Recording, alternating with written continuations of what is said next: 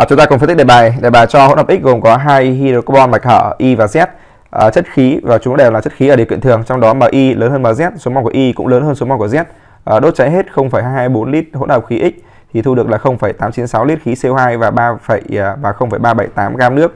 Mặt khác dẫn 0,024 lít hỗn hợp khí X này đi qua một lượng dư dung dịch AgNO3 trong môi trường H3 thì thấy hỗn hợp X bị hấp thụ hoàn toàn và tạo ra M gam kết tủa. Giá trị của M gần nhất với giá trị nào dưới đây? Thì chúng ta cùng sơ đồ hóa bài toán như sau này. Thứ nhất là mình có ở đây đó là hỗn hợp x. Hỗn hợp x thì gồm có hai hydrocarbon là anh y và anh z này. À, hai này đều mạch hở. Và điều kiện thòng đây đó là mi đúng không phải lớn hơn mz và mol y và mol y cũng phải lớn hơn mol z. Tổng số mol của hỗn hợp à, x này thì để bài cho số mol là bằng 0,01 mol chúng ta từ thể tích ý, chúng ta dễ dàng đổi ra được số mol mà. À, anh này tiến hành hai thí nghiệm. Thí nghiệm đầu tiên là người ta tiến hành đem anh này đốt trong oxy đốt trong oxy thì mình sẽ thu được đây là số mol của CO2 và đây sẽ là H2O. Số mol CO2 chúng ta nhập được mà 0,0896 ờ, ờ, đúng không ạ? 0,896 thì tương đương với số mol là 0,04 mol. Còn nước ở đây thì ờ, phải bấm thôi, 0,378, 0,378 chia cho 18 thì thấy ra được là 0,021 mol. Anh này có số mol là 0,021. À, anh này thì tiếp tục là người ta cho cái hỗn hợp X này vẫn là một cái lượng là 0,01 mol này nhưng người ta lại hấp thụ vào trong dung dịch AgNO3 trong môi trường H3 dư thì thấy hỗn hợp X này bị hấp thụ hoàn toàn. Cái từ hấp thụ hoàn toàn này có nghĩa là không có ông nào mà có thể bay ra khỏi cái dung dịch này cả. Có nghĩa là cả hai anh Y và Z đều tác dụng với AgNO3 các bạn ạ, đều tác dụng với AgNO3 trong môi trường NH3 đều tác dụng nhé. Đó. Và không có ông nào là bị thoát ra ngoài cả. Và đây sẽ thu được là kết tủa và đề bài yêu cầu xác định là khối lượng kết tủa là bằng bao nhiêu. Vậy chúng ta sẽ tư duy như sau. À, khi chúng ta biết số mol hỗn hợp rồi, biết số mol CO2 rồi thì mình nghĩ tới đó là C trung bình.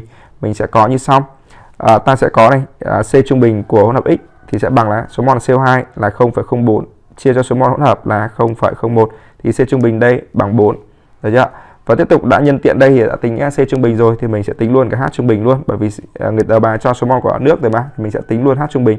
H trung bình sẽ bằng à, hai lần số mol nước 2 nhân với 0,021 chia cho 0,01 chia cho 0,1 thì mình dễ dàng ra đây là H ở đây sẽ bằng 4,2 và từ cái điều kiện là C trung bình bằng 4 này chúng ta lại để ý tiếp để đề bài cho một cái dữ kiện cực kỳ quan trọng đó là chất khí ở điều kiện thường.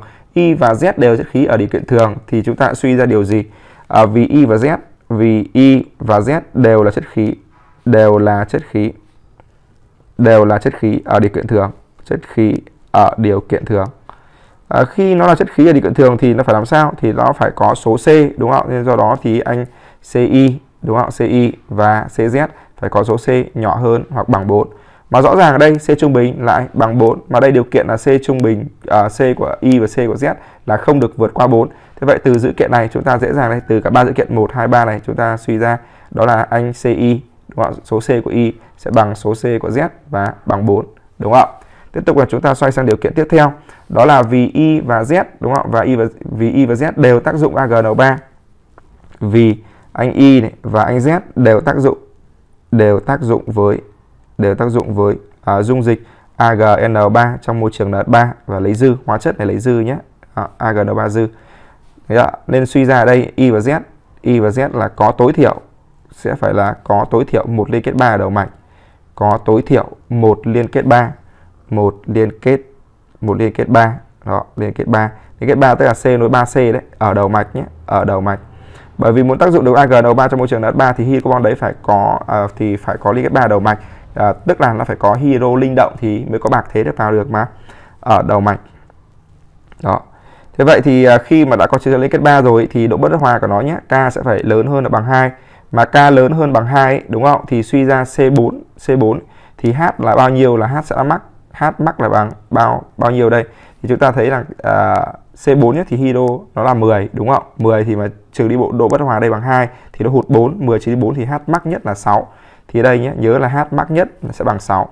Suy ra đây là H là lớn nhất, mắc nhất là bằng 6. Đó. Thế vậy thì à, chúng ta thấy rằng H trung bình ở đây là 4,2 mà Hero mắc nhất là bằng 6. Thế vậy thì sẽ phải có một anh lớn hơn 4,2 và một anh nhỏ hơn 4,2. Lớn hơn 4,2 thì chỉ có thể là số 6 mà thôi. Còn nhỏ hơn 4,2 thì có thể là bằng 2 hoặc bằng 4. Thế vậy bài toán này sẽ chia ra làm hai trường hợp. Trường hợp thứ nhất đó là một cặp đôi hoàn hảo như sau. Cả hai ông đều là C4. Ok. Một anh thì có số C thì lớn hơn 4,2 thì bắt buộc rồi lớn 4,2 chỉ có một số chẵn duy nhất lớn hơn 4,2 đúng không? ạ Và nhỏ hơn bằng 6 thôi đúng không? Thì H6 và anh này à, H đây thì sẽ là H4 đúng không ạ? Đấy là trường hợp à, uh, 1. Trường hợp 1 đây thầy gọi anh này là x mon, anh này là y y mon. Và như chúng ta đã thấy rằng anh C4H6 và C4H4 thì thằng này có m lớn lớn hơn, C4H6 có m lớn lớn hơn thì anh này chính là anh y đấy. Còn anh phía dưới này chính là anh anh Z đúng không? Chúng ta sẽ là, là phương trình như sau. Tổng số mol của hai này là x cộng y bằng 0,01, x cộng y bằng 0,01. À, phương trình thứ hai, phương trình thứ hai ở đây đó là phương trình bảo toàn hydro. Anh này sẽ là 6x đúng không? Cộng với anh này là 4y, 4y và f nó bằng là 0,021 nhân với 2. Đây là bảo toàn hydro nhé. Và từ đó mình sẽ dễ dàng ra được ẩn x bằng ẩn y bằng ta có này là 1 này, 1 này, 0,01 này. Anh này sẽ ra 6 này, 4 này, 0,021 nhân với 2. Thì này sẽ bằng là ờ, uh, 10 mũ trừ 3, 10 mũ trừ 3. Còn anh này thì nó bằng 9 nhân 10 mũ trừ 3, 9 nhân 10 mũ trừ 3. Thế vậy một anh là à, 10 mũ trừ 3, một anh là 9 nhân mũ trừ 3 mà x là gì? x là số mol của anh y, đúng không? Còn anh y là số mol của anh z. Thế vậy chúng ta thấy rằng ở đây đó là à, mol của anh y, mol của anh y nó lại nhỏ hơn mol của anh z. Thế vậy thì anh này sẽ là không thỏa mãn nhé. Không thỏa mãn. Không thỏa mãn và không thỏa mãn thì mình loại thôi và mình giải nốt trường hợp cuối cùng đây. Đó là trường hợp số 2. Trường hợp số 2 ở đây thì mình sẽ có anh y, anh y đóng vai trò là C4H6 em ạ. Lớn hơn 4,2 mà, H trung bình lớn 4 H trung bình là 4,2 mà thì phải một anh lớn hơn 4,2 thì là H6 rồi. Và người anh em nhỏ hơn đây sẽ là C4 và H2. Như vậy gọi anh này số mol là x này, số mol anh này là y thì ta sẽ có phương trình như sau. Đó là x cộng với y, x cộng y thì sẽ bằng là 0,01 và phương trình thứ hai mình vẫn bảo toàn hero như bình thường thôi, BTH bảo toàn hero thì anh này sẽ là 6x cộng với anh này là 2y thì sẽ bằng là 0,021 nhân với 2. Từ đó mình sẽ suy ra được ở đây là giá trị của x bằng và giá trị của y bằng. Nhìn thì nó cồng cành nó dài thôi nhưng mà nếu mà bạn cứ bấm máy tính thôi bạn xử lý số liệu cực kỳ nhanh luôn đấy. 11 04 6 này, hai này, 042 thì anh này anh này sẽ bằng 5,5 nhân 10 mũ trừ 3. Còn anh này là 4,5 nhân 10 mũ trừ 3, 4,5 nhân 10 mũ trừ 3. Và anh này là gì? Anh này chính là số mol của anh Y, còn anh này là số mol của anh Z. Và chúng ta thấy rằng mol Y lớn mol Z rồi, thế vậy thì thỏa mãn nhé, thỏa mãn. Và khi hai này thỏa mãn rồi thì chúng ta hiểu rằng kết tủa chúng ta thu được là ai? Kết tủa chúng ta thu được đây C4H6 thì người anh em đấy sẽ là CAG nối 3 C CH2 CH3 đó. Và số mol của nó tương ứng đây bằng 5,5 5,5 nhân 10 mũ trừ 3. Còn à, thằng C4H2 này thì công thức của nó sẽ là CAG nối 3 C C. Ở đây sẽ là CH nhưng bây giờ nó hóa thành CAG rồi em ạ.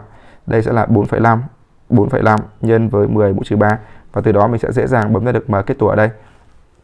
Anh này mà lớn là bao nhiêu nhỉ? 12 nhân 4 đúng không? 12 nhân 4 cộng 08 này cộng 15 Thế này là 161. Anh này mà lớn 161 này, anh dưới là 12 nhân 4 cộng 08 nhân 2. Thế này là 264, 264 và lấy 1 264 là nhân với 4,5 nhân 10 mũ trừ 3 cộng với 5,5 nhân 10 mũ trừ 3 nhân với 161 thì sẽ bằng là à thầy bấm ở đây là bằng 2, 2,0 2,0735 gram. Thế vậy thì 2,0735 nó gần nhất với đáp án nào? Thì 2,07 thì nó sẽ gần nhất với đáp án là đáp án D nhé, 2,1 các bạn nhé. Vậy bài tập này chúng ta sẽ khoanh đó là đáp án D 2,1.